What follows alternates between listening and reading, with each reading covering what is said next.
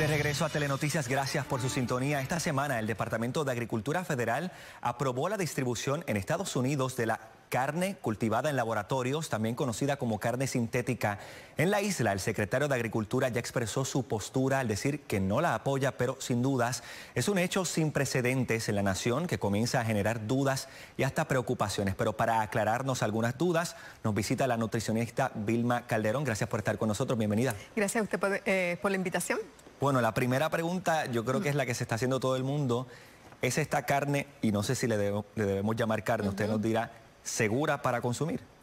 Bueno, yo creo que las personas no deben sentir seguridad al consumir esta carne por dos razones fundamentales. En primer lugar, estas carnes han sido aprobadas sin estudios longitudinales. Lo que eso significa es que no hay evidencia científica de que no hagan daño. Eso en primer lugar. Y en segundo lugar, la forma en que se aprobaron.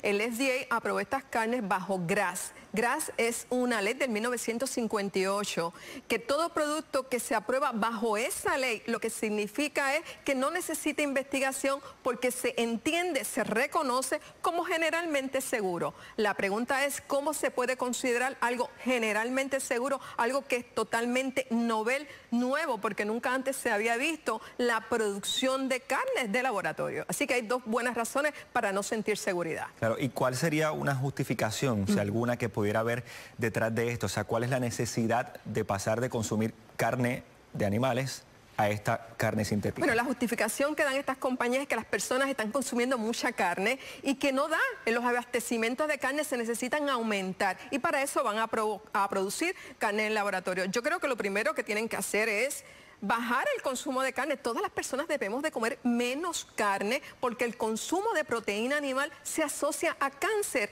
No es promover que las personas sigan comiendo más cantidad de carne, sino bajar el consumo.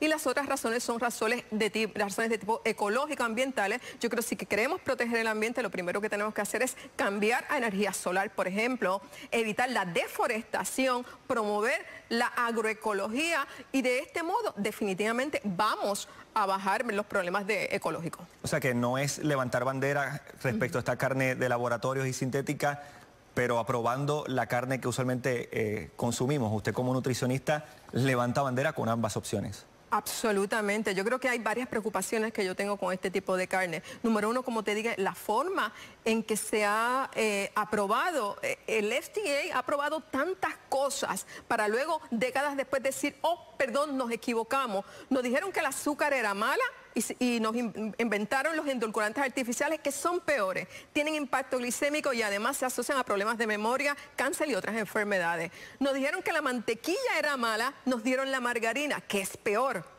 que baja el colesterol bueno, sube el colesterol malo y se asocia a cáncer. Nos dijeron que la manteca era mala y nos dieron los ácidos grasos poliinsaturados.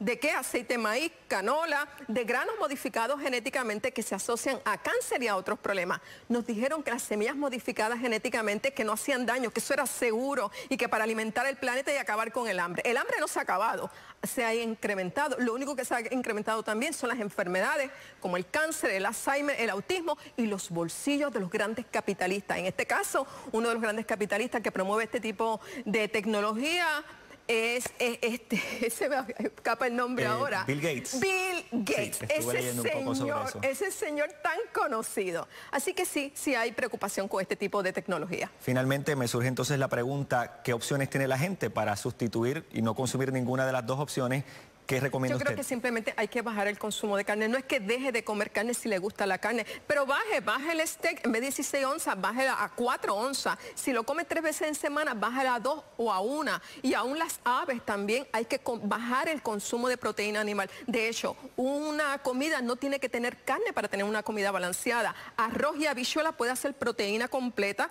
y aportar todos los aminoácidos que el cuerpo necesita, sin necesidad de proteína animal. Bueno, pues gracias por eh, acompañarnos y por darnos su conocimiento para que la gente entonces tome una decisión respecto a esta nueva carne. Y esperemos que vengan rotuladas y que no hagan como las semillas modificadas genéticamente que todavía no las han rotulado. Estaremos atentos. Ahora seguimos con más.